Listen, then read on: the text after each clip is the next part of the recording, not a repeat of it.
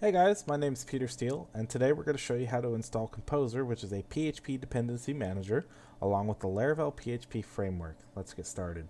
So first thing we're going to need to do is we're going to need to bring in our web browser and go to getcomposer.org.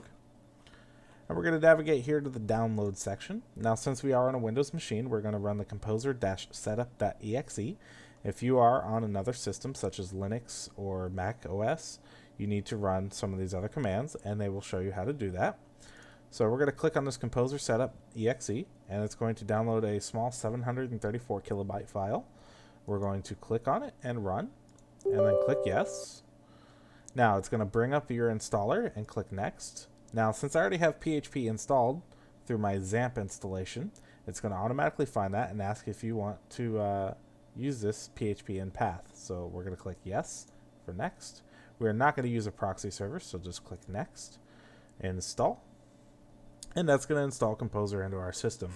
It's very easy, pretty straightforward, and it will allow you to easily install many other things. So we'll just click Finish. Now, we want to install Laravel. Well, to install Laravel, you just go to laravel.com and come under here to the documentation. Now, under the documentation, the first thing you'll come across is installation. And as you can see here, there's only one command that we need to run, which is composer global require laravel installer. So we'll copy that, come down here to our CMD, and we're going to right click, run as administrator, and click yes again. And now you can see we have our command prompt. We're going to paste in the command and hit enter on the keyboard.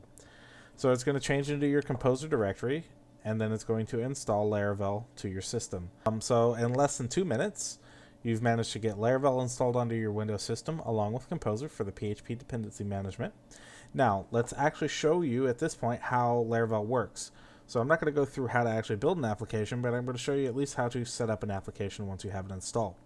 So what we're going to do is we're going to cd out of the root of our system here, and we're going to cd into our users, and we're going to cd into my main name.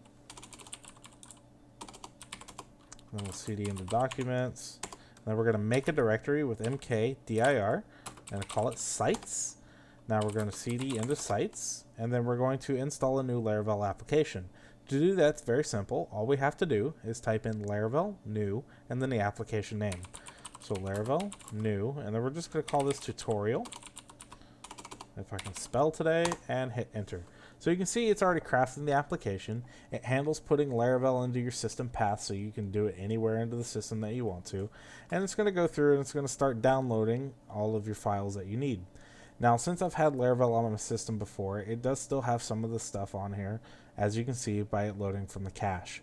Uh, if it does not have anything on the system that it needs, it'll download, as you can see here where it says downloading 100%. Now, I'm not going to sit here and bore you and let you watch this. It takes a couple minutes to install the new application, and it will for every application that you install. But um, I'm going to pause the video real quick, and then we'll come back and I'll show you the file structure, and we'll move on from there.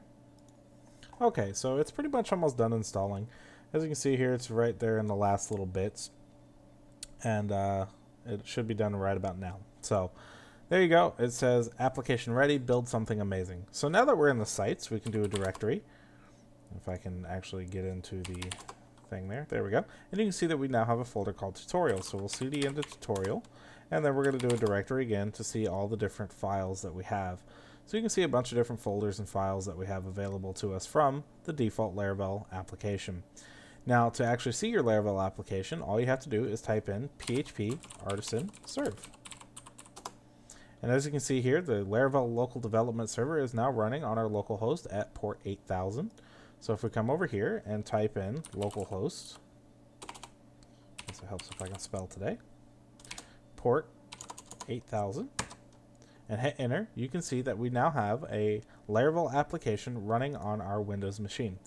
Uh, so that's it, under five minutes, and you got Laravel up and running. I hope you guys enjoyed this video. If you have any comments, questions, or concerns, please leave them in the comment section below.